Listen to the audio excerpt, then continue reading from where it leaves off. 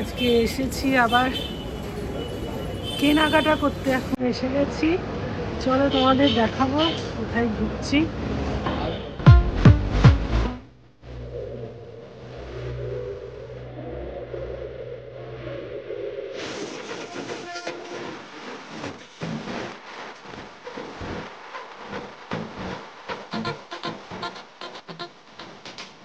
চলো, আজকে আমি ঢুকে পড়েছি আবার সেই পুরনো যেখান থেকে লাস্টবার শাড়ি কিনেছিলাম, ঠিক সেই দোকানটাতে লাইফ অন রিলস থেকে আমি রীতা শর্মা চলে এসেছি আজকে অনেক অনেক শাড়ি নিয়ে তোমাদের সঙ্গে শেয়ার করতে যেসব শাড়িগুলো আমি কিনেছি আর পছন্দও করেছি সব কিছুই তোমাদের সঙ্গে শেয়ার করব। যেহেতু লাস্টবার এখান থেকে কিনেছিলাম, শাড়ির কোয়ালিটিগুলো এতটাই ভালো ছিল এখনও অবশ্য বেশ কয়েকটা শাড়ি কিন্তু আমার পরে রয়েছে শাড়ি। মানে সেটা এখনও পর্যন্ত পরা হয়নি। যাই হোক যায় যা হয় আর কি, আমার এখানে আসলে যাওয়ার আগে আগে আমি একটু এই শাড়ির দোকান থেকে একটু ঘুরে যাই। তো এখন আপাতত আমি যে শাড়িটা দেখাচ্ছি, এটা একদম মানে কাঞ্জিভারমের মানে পিওর বলব না, মোটামুটি এগুলো পাঁচ হাজার থেকে স্টার্টিং হয়েছে। তো একটা আমি ভালো নেব। আর আর আরেকটা ব্ল্যাক বলেছি যাচ্ছি ব্ল্যাকটা দেখাতে, এই ব্ল্যাকটাও দেখো খুব সুন্দর। পুরো বডিটার মধ্যে কোনো কাজ নেই, খালি পাড়ের এখানে কাজ আছে। তো এই ব্ল্যাকটাও পছন্দ হয়েছে। পাশে আরেকটা ব্ল্যাক রেখেছি, সেটাও পছন্দ হয়েছে। মানে এত কনফিউজ হয়ে যায় না। তখন আর ছেলে এগুলো কিচ্ছু বলতে পারে না, কোনটা নেবে কোনটা নেবে না। যাই হোক, চলো আরও অনেক আছে দেখাবো তিন হাজার।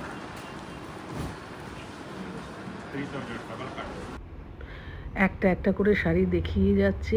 আর এক একটা, এক এক রকম রয়েছে, তিন হাজার, দু হাজার রয়েছে। কিন্তু এরা যেটা এমআরপি সেই দামটা যদি এটা ছ হাজার, সাত হাজার হয় এমআরপিটা কিন্তু ওরা যেটা রাখে সেটাতেই দেয়। তার উপর কিন্তু আর কোনো কিছু ডিসকাউন্ট নেই। কিন্তু এখানে অনেক দোকান এরকম আছে যেখানে ডুপ্লিকেট মানে পাওয়া যায়। তো যাই হোক, আমি আমার পরিচিত দোকান বলে মানে পরিচিত মানে আগে নিয়েছিলাম। এই দেখো, এই শাড়িটা অপূর্ব। এটাও বেশ ছ সাত হাজার টাকার মতনই দাম বলছিল। তো এটাও ভালো লাগল।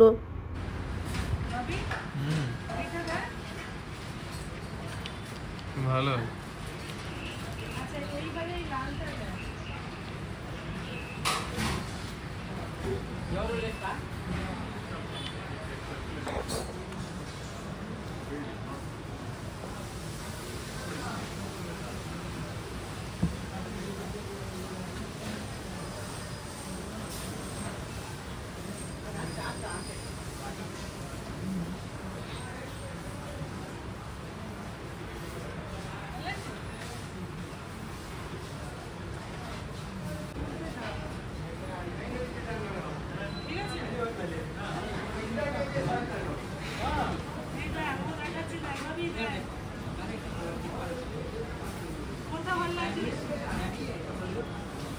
এই গ্রিন যা একটা গ্রিনটা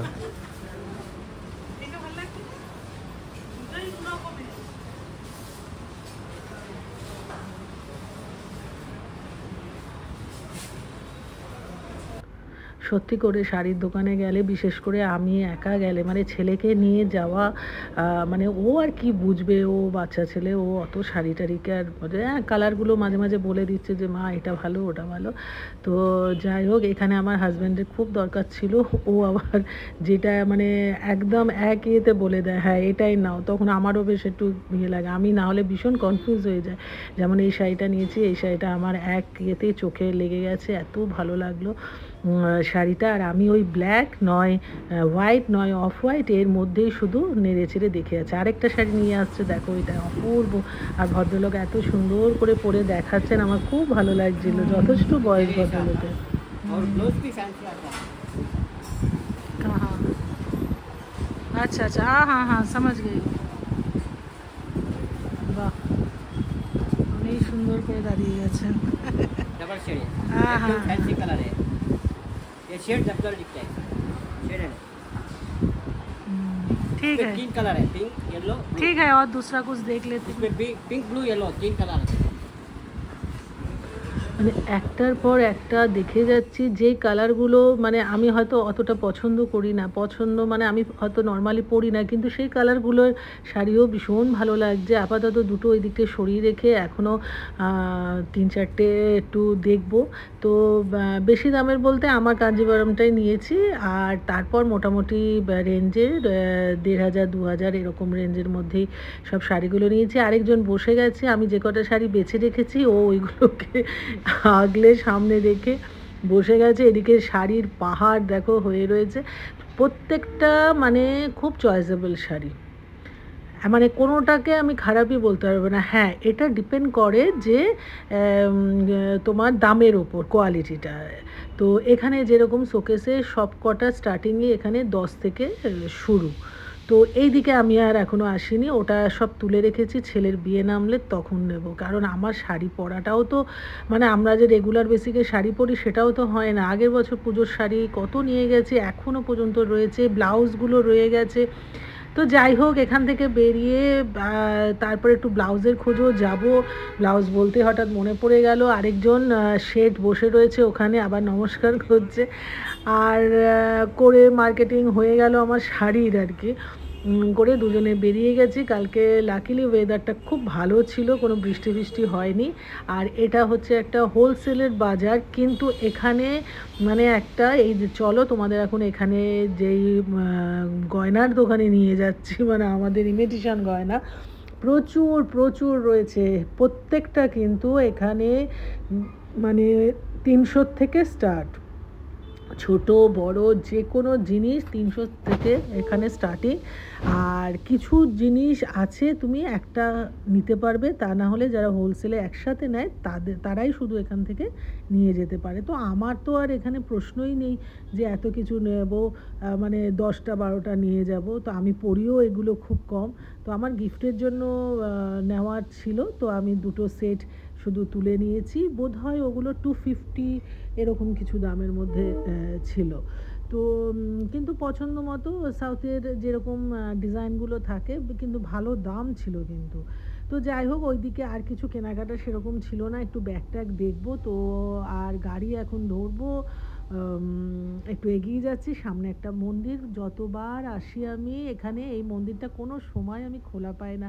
তার কারণ একটাই যে দুপুরের টাইমটায় আমরা যেহেতু যাই, তার জন্য মন্দিরটা বন্ধ থাকে। যাই হোক মন্দিরের সামনে একটুখানি প্রণাম করে নিয়ে এখন আমরা যে ক্যাব বুক করেছি, সেটা ওই ওই সাইডে রাস্তার ওই পাশে আমাদের এখন যেতে হবে।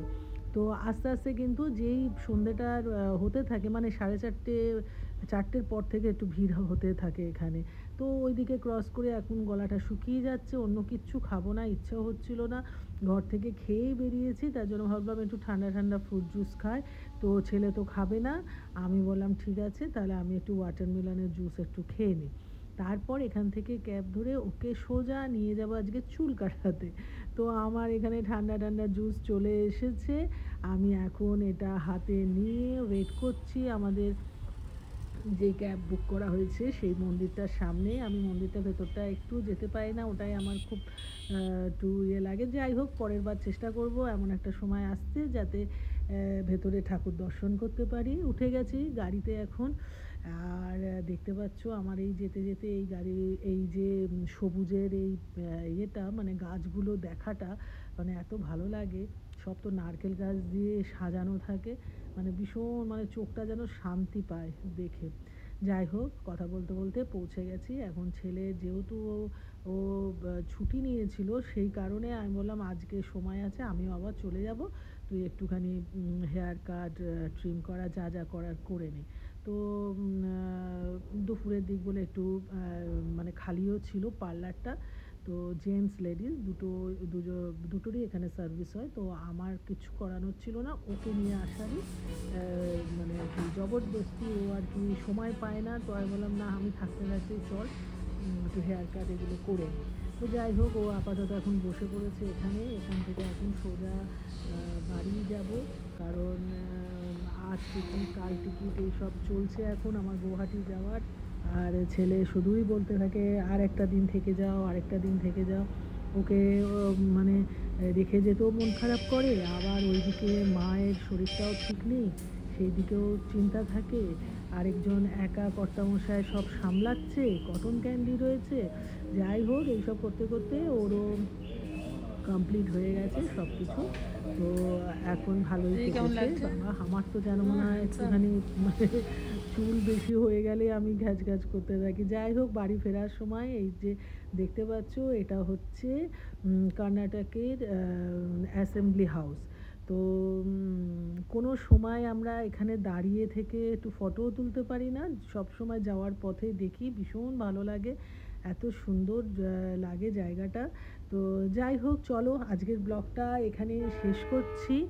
আর সবাই খুব ভালো থেকো, সুস্থ থেকো। কালকে আবার নতুন কোনো একটা ব্লগ নিয়ে তোমাদের কাছে চলে আসব।